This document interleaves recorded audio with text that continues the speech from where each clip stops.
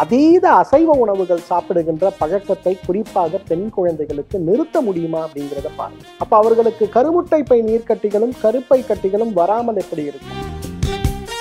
பெண்களுக்கு ஏன் ஆண்கள் சம்பந்தமான ஹார்மோன் இருக்கணும்னா நம்ம உடல்ல இருக்கக்கூடிய சில கெமிக்கல் ரியாக்ஷன்ஸுக்கு ஆண்கள் சம்பந்தமான ஹார்மோன் நமக்கு தேவை.